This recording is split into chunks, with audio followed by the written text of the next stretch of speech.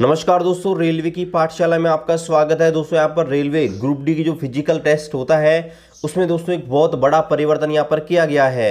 और दोस्तों, ये जो परिवर्तन है, कहीं ना कहीं इस परिवर्तन के मैं अगेंस्ट हूँ। और दोस्तों, यहाँ पर 20 परसेंट सीटें हैं। तो इस वीडियो में बात करेंगे, क्या 20 परसेंट सीटों पर जो यहाँ पर कैंडिडेट हैं, उनको यहाँ पर नुकसान होने वाला है? सब कुछ इस वीडियो में देखेंगे रेलवे ने। नाइट में, कल नाइट को यहाँ पर, देर नाइट को एक नोटिस डालकर सभी छात्रों के लिए ये अपडेट यहाँ पर दी है। चलिए शुरू करते हैं आज के इस वीडियो को। इससे पहले आपसे रिक्वेस्ट है, रेलवे भर्ती के लेटेस्ट एंड ऑथेंटिक अपडेट पाने के लिए चैनल को ज़रूर सब्सक्राइब कर दीजिएगा।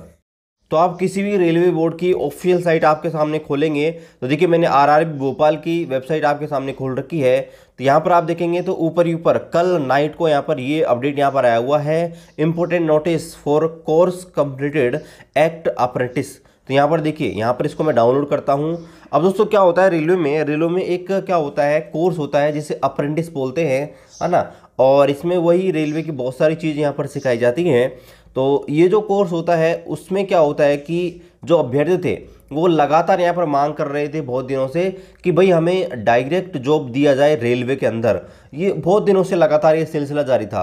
लेकिन तो रेलवे ने यहाँ पर पहले ही क्लियर कर दिया था कि भाई हम आपको डायरेक्ट जॉब तो नहीं देंगे ये रूल के खिलाफ हो जाएगा फिर तो हमें आ, जो कंपटीशन है उसकी ज़रूरत ही नहीं पड़ी कर डायरेक्ट वैकेंसी डायरेक्ट जॉब आपको दे देंगे तो तो फिर उन्होंने क्या निर्णय लिया कि भाई हम आपको लेवल वन में यानी कि ग्रुप डी के अंदर जो वैकेंसी आएगी उनमें आपको 20 परसेंट सीटें यहाँ पर रिज़र्व करेंगे। चलो उसमें भी हमको कोई प्रॉब्लम नहीं लेकिन दोस्तों अब जो परिवर्तन किया गया ना कहीं ना कहीं उससे आपको यहाँ पर एक झटका लग जाएगा। देखिए यहाँ पर देखते हैं notice for C C A C C C A S यानी कि जो आ, आपके कोर्स एक्ट अप्रेंटिस करते हैं रेलवे में उनके बारे में है। तो यहाँ पर देखिए मिनिस्ट्री ऑफ़ रेलवे ने जो टर्म्स ऑफ़ ऑर्डर हैं है ना? जो आपके जो ई आर बी नंबर है रेलवे का, जो आपके नौ दो दो हज़ार बाईस जो रेलवे की कमेटी है, वो डिसाइड हुई थी एक्ट अप्रेंटिस एक्ट जो है उसमें। तो उन्होंने डिसीज़न डिसीज़न लिया है टर्म ऑफ़ जो रेफरेंस है उसमें, जो अभी जो कमेटी डिसाइड करी थी 26 जनवरी 2022 को। तो उसके सेक्शन नंबर 22 से यहाँ पर नीचे निर्णय लिए गए हैं जो निम्न प्रकार हैं। तो यहाँ पर आप देखेंगे पहला निर्णय लिया गया है कि जो अप्रेंटिस करते हैं रेलवे में railway establishment will be given due weightage for the training done by them railway establishment in preparation of the final merit list after conduct of C B T one exam यानी दोस्तों, यहाँ पर ये एक बहुत बड़ी line लिखी गई है कि भाई रेलवे जो है, यहाँ पर वेटेज देगी। अब देखिए वेटेज क्या है? यहाँ पर बोला कि रेलवे है वो वेटेज देगी जिन्होंने भी ट्रेनिंग कंप्लीट कर रखी है रेलवे में है ना? तो फाइनल मेरिट में दोस्तों इनको क्या करेगी? फाइनल मेरिट के बाद आ, इनको क्या करेगी? वेटेज देगी। अब दोस्तों ये वेटेज क्या हो सकता है? ऑलरेडी भाई जो आपके अप्रेंटिस वाले होते हैं, उनको पिछली बार आपको पता होगा 2018 में जो मिनिमम क्वालिफाइंग मार्क्स होते हैं 40 प्रतिशत, पैंतीस प्रतिशत, तीस प्रतिशत, उन पे दोस्तों सिलेक्शन किया था पिछली बार। जबकि जनरल कैंडिडेट की कट ऑफ़ आपको पता है कि 80 अस्सी प्रतिशत गई थी कई जनरल रेलवे से। लेकिन दोस्तों, फिर भी यहाँ पर रेलवे बोल रहा है कि जिन्होंने भी यहाँ पर ट्रेनिंग कंप्लीट कर रखी है अप्रेंटिस से, उनको यहाँ पर फाइनल मेरिट के बाद हम फाइनल मेरिट जो है उसमें दोस्तों क्या करेंगे? हम क्या देंगे? वेटेज देंगे, है ना? पहली लाइन तो ये। और दूसरी सबसे बड़ी लाइन है कि जिन्होंने भी अप्रेंटिस कर रखी है रेलवे एस्टेब्लिशमेंट है, वो यहाँ पर उनको फ़िज़िकल एफिशिएंसी टेस्ट से मुक्त रखता है। यानी दोस्तों, इन्हें फ़िज़िकल देने की ज़रूरत ही नहीं है। और कहीं ना कहीं दोस्तों, मैं मानता हूँ कि ये जो निर्णय है, जो सेकंड वाला, वो दोस्तों मेरे हिसाब से थोड़ा गलत है। क्योंकि दोस्तों देखिए, रेलवे में क्या होता है कि भाई आपको पता है कि भाई फोर्टी परसेंट जो सीटें हैं, वो आपको पता है ट्रैक मेंटेनर की हैं। और ट्रैक मेंटेनर का काम जो है, आपको पता है कितना हार्ड होता है। अगर ऐसे में फ़िज़िकल एफिशिएंसी टेस्ट रेलवे यहाँ पर क्वालिफाई नहीं करवाता है तो कहीं ना कहीं भाई दोस्तों एक बहुत बड़ी प्रॉब्लम हो जाएगी। भाई, इतना इजी काम नहीं होता है ट्रैक मेंटेनर में, क्योंकि मैं खुद ट्रैक मेंटेनर हूँ तो ऐसे में अगर आप फ़िज़िकल एफिशिएंसी टेस्ट नहीं करवाते हैं तो कहीं ना कहीं मेरे हिसाब से ये स्टूडेंट के जो जो आपके स्टूडेंट हैं, है ना, जो जिन्होंने अप्रेंटिसशिप नहीं कर रखी है, उनके लिए तो प्रॉब्लम है ही है, क्योंकि ज़्यादा स्टूडेंट यहाँ पर क्वालिफाई हो जाएँगे।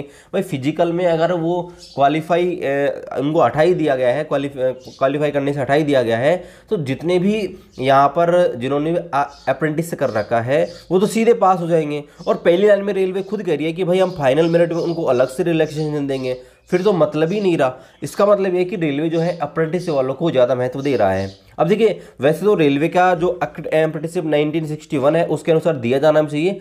लेकिन दोस्तों, ये जो छूट है, कहीं ना कहीं बाद में अगर कोई चेंजेस होता है ना तो छात्रों को देखो प्रॉब्लम होती है। अगर नोटिफिकेशन में पहले ही यहाँ पर ये चीज़ें ऐड हो जाती है ना तो छात्रों को प्रॉब्लम नहीं होती है। लेकिन दोस्तों, बाद में जब परिवर्तन किया जाता है कि एक स्टूडेंट है, वो इन सब चीज़ के बारे में सोच के तैयारी करता है तो कहीं ना कहीं बाद में उसको प्रॉब्लम होती है। तो मैं आपके सामने एक बार जो अपना ग्रुप डी का नोटिफिकेशन है, वो भी आपके सामने खोल लेता हूँ।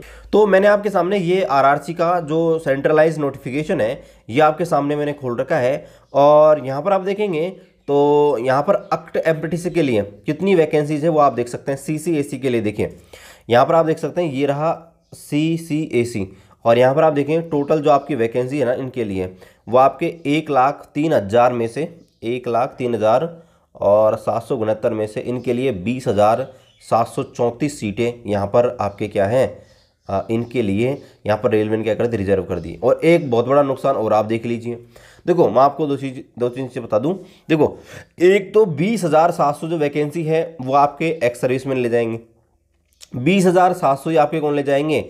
आपके जो अप्रेंटिस वाले हैं, वो यहाँ पर ले जाएँगे। और लगभग आपके चार हज़ार या पाँच हज़ार आप मानोगे तो आपके पी डब्ल्यू वी डी ले जाएँगे दोनों मिला के तो कुल मिला के बाद दोस्तों ये हुई बीस हज़ार, ये बीस हज़ार, ये चालीस हज़ार, यानी कि इकतालीस हज़ार और इकतालीस और ये पाँच, यानी कि लगभग फोर्टी सिक्स थाउज़ेंड जो सीटें हैं, वो तो दोस्तों आपके ऐसे ही चली गई। जो आपके नॉर्मल कैंडिडेट है ना, उनके लिए नहीं है, फोर्टी सिक्स थाउज़ेंड। यानी कि आपके लिए अप्रोक्सीमेटली माने तो fifty seven, fifty eight thousand सीटें हैं जो आपके लिए हैं। अब दोस्तों, वैसे तो सीटें कोई कम नहीं है, लेकिन थोड़ा फ़र्क पड़ जाता है बाद में अगर रेलवे परिवर्तन करती है तो। वैसे दोस्तों तो तैयारी करने वालों के लिए तो आपको पता है कि सौ सीटें निकलेंगी, तब भी वो सिलेक्शन ले जाएँगे। पिछली बार बासठ हज़ार नौ सौ सात वैकेंसी थी, और उनमें भी आपके वही था, बीस परसेंट सीटें आपके एक्सरिसमेंट की वही था। लेकिन फिर दोस्तों सिलेक्शन हुआ है। तो दोस्तों, ये आप दिल छोटा मत कीजिए रेलवे के निर्णय के सामने हम कुछ नहीं कर सकते।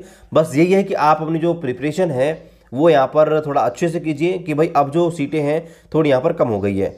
बाकी दोस्तों, कोई भी अपडेट आएगा तो उसका अपडेट आपको हमारे चैनल मिल जाएगा। तो इस वीडियो को शेयर कर दीजिएगा और चैनल पर आप रहे चैनल को सब्सक्राइब कर दीजिए।